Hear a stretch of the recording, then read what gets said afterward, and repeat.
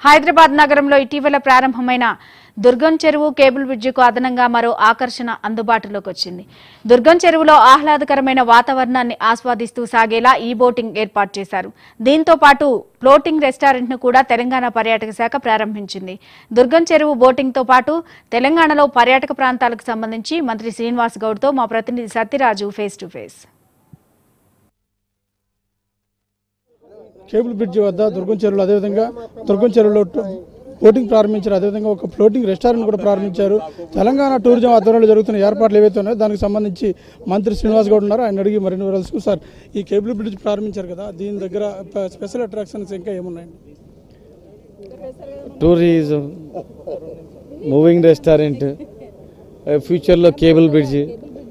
Cable bridge తర్వాత మన rope way రెండు గుట్టల మధ్య ఇంకా చాలా చేస్తాం అద్భుతంగా చేస్తాం. ఇది ప్రారంభం కనుక ఫ్యూచర్లో గ్యారెంటీ ఇప్పుడు దుర్గం చెరువులో ఈ బోట్లు ప్రారంభించారు ఎన్ని బోట్లు ప్రారంభించారు? టైమింగ్స్ ఏమైనా ఉన్నాయి? టైమింగ్స్ ఏం ఎప్పుడు కంటిన్యూ నడుస్తుంది కంటిన్యూ నడుస్తుంది. సెవెన్ ఎయిట్ వరకు ఎయిట్ వరకు చేస్తాం. పబ్లిక్ డిమాండ్ బట్టి సేఫ్టీ మెజర్ చూసుకొని ఇంకా కొంచెం ఎక్స్చేంజ్ చేయాలంటే చేస్తాం. ఈ కేబుల్ బ్రిడ్జ్ ఏదైతే ఉందో చాలా అట్రాక్షన్గా ఉంది. జంట నగర వాసులే కాకుండా ఇతర ప్రాంతాల వాసులు కూడా పెద్ద ఎత్తున చూడడానికి వస్తున్నారు. అయితే ప్రమాదాలు కూడా జరిగే అవకాశాలు ఉన్నాయి. ఎలాంటి జాగ్రత్తలు తీసుకుంటున్నారు? లైఫ్ జాకెట్స్ ఉంటాయి. పైన అన్ని ఏర్పాటు చేసిండ్రు. జాగ్రత్త తీసుకోవాలి. మా గైడ్స్ ఉంటారు చెప్తుంటారు.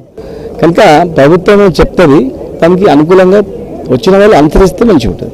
దుర్గం చెరువులోనే కాదు, తెలంగాణ ప్రాంతంలోకి చాలా లేక్స్ ఈ మధ్యకాలంలో పెద్ద ఎత్తున ఈ బై మిషన్ భగీరథ కారణంగా చెరువులు అయితే జలకళతో నిండి ఉన్నాయి. అక్కడైనా బోటింగ్ ప్రారంభించే అవకాశం. ప్రతి రిజర్వాయర్ దగ్గర ఏర్పాటు చేస్తాం. ప్రతి రిజర్వాయర్ దగ్గర ప్రజలకు అనుగుణంగా ఏమేమి చేయాలో అవన్నీ ఏర్పాటు చేస్తాం. ఈ కేబుల్ బ్రిడ్జ్ ఏదైతే ఉందో ఈ మాదాపూర్ కావచ్చు హైదరాబాద్ నగరానికి కావచ్చు ప్రత్యేక ఆకర్షణగా ఉంది. ఇలాంటివి ఇతర నగరాల్లో కూడా ప్రారంభించే అవకాశం ఉంది. చేస్తాం. ఏ నగరానికి తగ్గట్లు ఏ నగరానికి సంబంధించినటువంటి ఏం చేస్తే బాగుంటుంది దాని మీద దృష్టి పెడితే. ఖచ్చితంగా టూరిజం హబ్గా చేయాలనేది ముఖ్యమంత్రి గారి ఆలోచన. ఉంది గ్యారంటీ చేస్తాం.